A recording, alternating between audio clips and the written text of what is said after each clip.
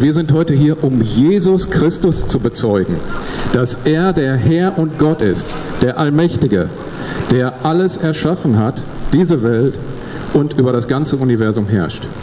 Er ist der Erlöser von unseren Sünden und er ist das Alpha und das Omega. Denn so spricht der Herr.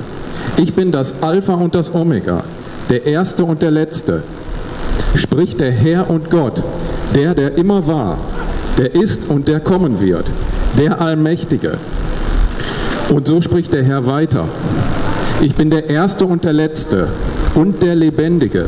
Siehe, ich war tot, doch ich bin lebendig für immer und ewig. Und ich habe die Schlüssel des Todes und des Totenreichs in meinen Händen. Jesus Christus ist der Allmächtige.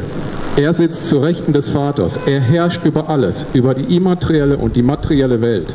Und er wird wieder erscheinen, zu richten die Lebenden und die Toten. So steht es in der Bibel. Schon der Prophet Jesaja hat 600 Jahre vor Christus die Gottheit Jesus angekündigt. Denn so heißt es bei Jesaja: Uns wird ein Kind geboren und die Herrschaft liegt auf seinen Schultern. Und er wird heißen Wunderbarer, Ratheld, ewiger Vater, Friedensfürst. Und im Johannesevangelium steht, denn am Anfang war das Wort und das Wort war bei Gott und das Wort war Gott und das Wort wurde Fleisch. Das Wort war Gott und das Wort wurde Fleisch. Jetzt mögen Sie sich fragen, warum sind wir hier? Das Evangelium ist doch allen bekannt. Das Problem ist aber, dass das kaum jemand interessiert und viele das heute nicht mehr kennen und viele auch nicht danach leben.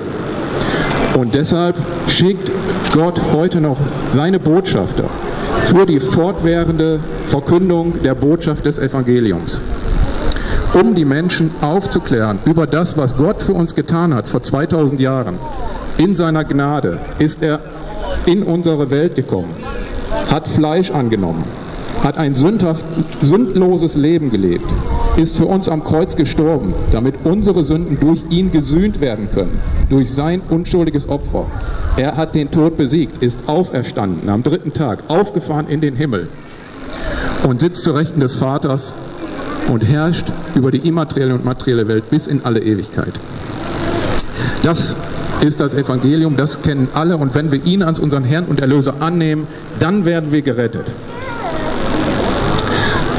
Aber das Evangelium besteht nicht nur aus Liebe und Gnade, sondern auch aus Zorn. Denn wir sind alle unter dem Zorn Gottes, solange wir nicht Jesus Christus als unseren Herrn und Erlöser angenommen haben, solange wir in unseren Sünden leben. Denn so spricht der Herr. Denn so ihr nicht glaubt, dass ich es bin, werdet ihr alle in euren Sünden sterben. Ja, wir sind alle geboren in der sündhaften Natur Adams. Die Sünde steckt in unserem Fleisch. Wir können da gar nichts gegen machen. Die fleischlichen Gelüste zehren an uns und wir können sie nicht selbst überwinden. Jesus hat gesagt, das Böse ist in unserem Herzen und die bösen Gedanken kommen aus unserem Herzen. Die Gedanken des Hasses, der Gewalt, des Ehebruchs, der Verleumdung, dies kommt alles aus unseren Herzen. Deshalb hat er gesagt, schon Hesekiel hat gesagt, 600 Jahre vor Christus, lasst euch, macht euch ein neues Herz und einen neuen Geist, denn ich habe kein Gefallen am Tod des Frevlers. Ich möchte, dass der Frevler sich bekehre und lebe. Und Jesus hat gesagt, ich bin nicht gekommen, um zu stehlen und zu töten, das macht der Feind. Ich bin gekommen, um euch Leben zu geben und das im Überfluss. Er hat gesagt, ich gebe euch ein neues Herz. Ich nehme das versteinerte Herz aus eurer Brust und ich gebe euch ein neues Herz aus Fleisch und Blut. Das neue Herz, das macht uns frei, frei von der Bindung an die Sünde, denn dies können wir nicht selbst bewerkstelligen. Ich bin nicht hier, um euch zu verurteilen oder um euch Angst zu machen. Ich bin hier, um das zu sagen, was in der Bibel steht, was Gott zu uns heruntergesandt hat. Denn das wird in vielen Gemeinden heute nicht mehr so gepredigt. Aber Gott hat uns, hat uns befohlen, dass wir nach seinen Geboten leben, dass wir heilig leben, dass wir uns heilig machen. Im Paulusbrief steht, wir sollen Gott in unserem Fleische verehren und wir sollen nicht unseren eigenen Gelüsten nachgehen. Ja? Und deswegen hat Jesus gesagt, lasst euch ein neues Herz geben. denn das in, in eurem Herz ist die Sünde gefangen. Und ich muss, ich kann euch sagen, ich habe selbst, ich kann niemanden verurteilen. Ich bin selbst nicht besser. Ich habe das gemacht, was vor Gott Sünde ist, aber was in der Welt ganz normal ist. Rauchen, trinken, fleischlichen Gelüsten nachgegangen. Und ich habe das gerne gemacht. Ja, ich habe mich, ich habe Freude daran gefunden. Wir haben Freude in den Sünden. Wir haben Freude daran, dass wir uns unreine Filme ansehen. Aber dies verhärtet unser Herz. Unser Herz wird, wird auch verhärtet dadurch, dass wir eine gewisse Unvergebenheit haben. Wenn uns jemand was getan hat, dann vergeben wir ihm nicht. Gott hat aber gesagt, vergibt erst untereinander und dann vergebe auch ich euch. Und wir haben Verbitterung in unserem Herz. In unserem Leben passieren Dinge, die uns nicht gefallen. Wir suchen nach etwas. Wir suchen die Leere in unserem Herzen zu füllen. Aber wir können sie nicht mit materiellen Dingen füllen. Wenn wir uns auch noch so viele materielle Dinge anhängen, immer ein neues Auto, immer ein besseres Auto, wir streben danach, immer die besten, neuesten Sachen haben, immer ein neues iPhone, das macht uns kurzfristig, äh, kurzfristig glücklich. Ja? Aber es kann uns niemals die Leere in unserem Herzen füllen.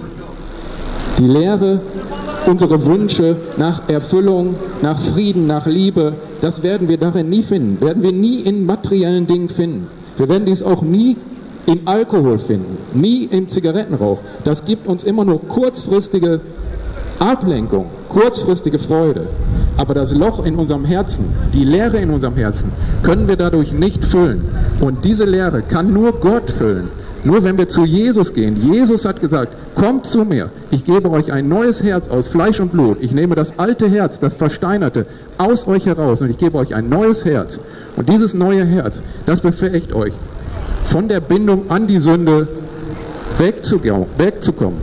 Die Ketten der Finsternis, die euch gefangen halten, die euch in der Sünde halten, die werden weggenommen, die werden gesprengt. Denn Jesus hat gesagt, wenn ich beim Vater bin, schicke ich euch einen anderen Tröster. Das ist der Geist der Wahrheit. Und der wird euch frei machen von der Bindung an die Sünde und euch in alle Wahrheit leiten. Kommt zu Gott, lasst euch ein neues Herz geben. Denn die Liebe, nach der ihr sucht, die werdet ihr nicht finden. Kein Mensch kann euch diese Liebe geben, die euch Gott lieben, Gott geben kann. Er legt seine Liebe in euch und er liebt euch mehr, als jeder Mensch euch lieben kann. Wir können natürlich Menschen lieben. Wir können unseren geliebten Partner lieben. Aber am Ende werden wir alles mit uns selbst ausmachen müssen. Wir sterben alleine und die schlimmen Dinge, wir müssen alles mit uns alleine ausmachen. Aber wenn Gott bei euch ist, wir können alle Sorgen und alle Nöte in seine starken Hände legen, wenn wir nur ihm vertrauen. Und er hat auch unseren Weg, den wir hier auf der Erde beschreiten sollen, hat er schon festgelegt. Er hat alle unsere Träume und unsere Wünsche konserviert. Und er möchte, dass sie in Erfüllung gehen.